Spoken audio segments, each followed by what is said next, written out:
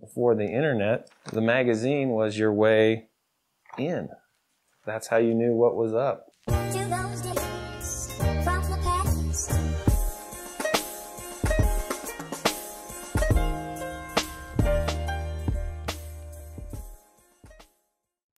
We are kind of like a preservation society for skateboard magazines. We take donations in of people's magazines that have maybe been sitting in their garage, their closet, their attic. We try and pull these magazines out of places where they aren't being seen, consolidate them, compile them into libraries. It just really was just in October, I think, that I was like, I could probably turn this into a nonprofit, focus on literacy, um, the you know the preserving of the skateboarding history that's that's embedded in all of these, and and just keep building more and more libraries wherever there might be interest in it.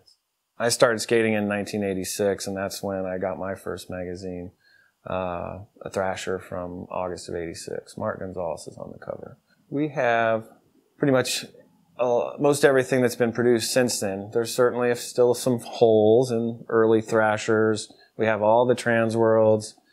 We have a few holes in Lowcards.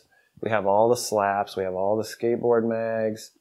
We have all of the skateboarders that were produced since 1999, not the 70s and 80s stuff.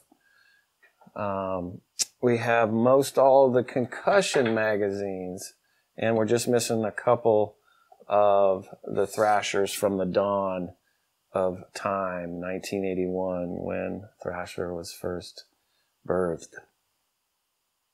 This is what I'd call our back end. When we get a crate or two of a donation, it has to come in and get processed. We have to find out what's there, sort, organize by magazine, put them in order. And then I have to go to my computer and check all the different lists I have for each of the libraries that we're currently working with to see who needs what. Can't tell you how many shop owners I've talked to where once I tell them what I'm doing, they're like, Oh, I wish you would have gotten with me last year or two months ago. We just had to throw out a bunch. And it's just like, ah, were there any 81 thrashers in there?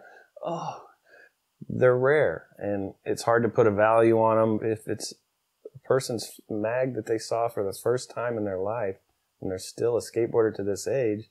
That has real value to that person on some levels, the, the current state of print media, I'm discouraged when I see magazines that are cutting editorial content and um, just focusing on photo features all the time.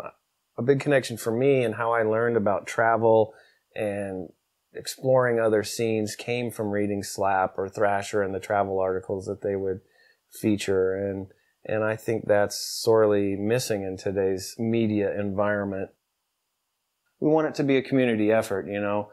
Whatever space a shop can set aside, I can fill that with magazines. Once the library is in place, bring in your old magazines that are sitting in your closet that you haven't looked at. Make them be a part of the library as well.